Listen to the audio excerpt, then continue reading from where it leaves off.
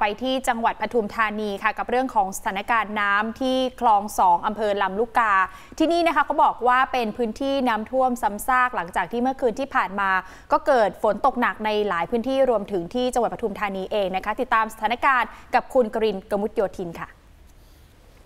ก็เดือดร้อนนะครับผู้โดยสารก็มันแบบลดลงไปหากินไม่ได้มันหาเงินไม่คล่องนะครับ เพราะว่าปกติจะมีผู้โดยสารขึ้นตลอด แต่ว่าตอนนี้มันก็ไม่มีขึ้น เพราะว่าเขาขึ้นรถเมล์น้ำท่วมไปไม่ได้ อยากให้หน่วยงานรัฐเข้ามาดูแลหน่อยครับ เพราะว่าตอนนี้มันชาวบ้านเขาเดือดร้อนกันด้วย แล้วก็พวกผมกันทำมาหากินกันก็เดือดร้อน เพราะว่ารายได้ลดลงไปเลย เพราะว่าจากเช้าหนึ่งเคยได้ก็ไม่ไม่ได้ เพราะว่าผู้โดยสารไม่มีใครขึ้น เพราะว่าน้ำมันท่วมเยอะ สถานการณ์น้ำท่วมขังหลังฝนตกหนัก อย่างต่อเนื่องในพื้นที่กรุงเทพมหานครและปริมณฑลหลายจุด ขณะนี้ปริมาณน้ำลดลงจนเกือบเป็นปกติแล้ว แต่ยังมีบริเวณหมู่บ้านลินทองอำเภอลำลูกกาคลองสองและบริเวณใกล้เคียงที่ยังคงมีปริมาณน้ำท่วมขังสูง เฉลี่ยประมาณ 20-30 เซนติเมตร ส่งผลให้ชาวบ้านได้รับความเดือดร้อนอย่างมากครับและบริเวณที่ผมยืนอยู่ตรงนี้ครับคือหน้าหมู่บ้านรินทองครับเป็นบริเวณที่มีน้ำท่วมสูง เนื่องจากฝนที่ตกลงมาตั้งแต่เมื่อคืนที่ผ่านมาครับสร้างความเดือดร้อนให้ชาวบ้านในระแวกนี้เป็นอย่างมากครับ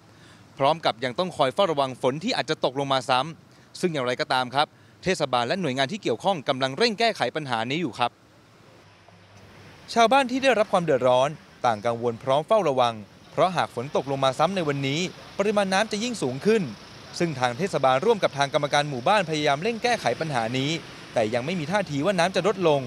ชาวบ้านบางรายเริ่มขนย้ายของออกจากบ้าน เพื่อเตรียมพร้อมรับมือกับสถานการณ์น้ำท่วม จุดนี้เป็นจุดเอ่อต่ำสุดของหมู่บ้านลินทองนะครับเเราก็คณะกรรมการเองก็มีเครื่องสูบน้ำอยู่นะครับ เราก็ดำเนินการสูบน้ำแต่ระยะทางค่อนข้างไกลนะครับกิโลถึง 400 เมตรกว่าน้ำจะเดินทางไปถึงคลองสามนะครับตรงนี้เป็นจุดต่ำสุดเนี่ยถ้าเป็นไม่ได้นะครับ อยากขอให้ทางเทศบาลกุคตกับลำสามแก้วพิจารณานะครับยกระดับพื้นผิวถนน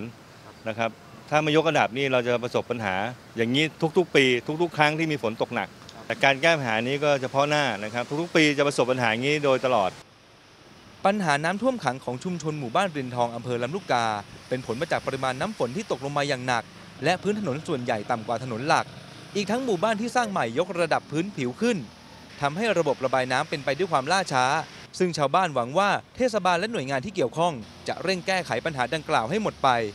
จตุพรอัธโยโคถ่ายภาพครินกมุตโยธิน ทีมข่าว True for You รายงาน